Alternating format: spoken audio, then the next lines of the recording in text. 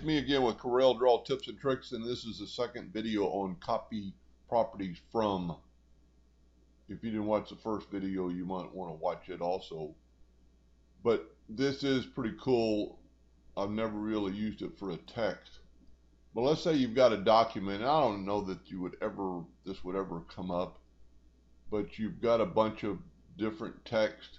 You know, I've got Arial, uh, casual black, you know, a bunch of fonts I've never used, News 10706.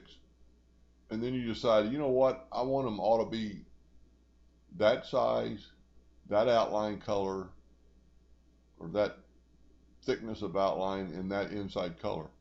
Well, it's the same thing as in the other video. You just copy them all, but on this time, when you go down to copy properties, it actually gives you a check for text because you've clicked on a text and then hit OK. And then it's going to ask you where you want to copy it from.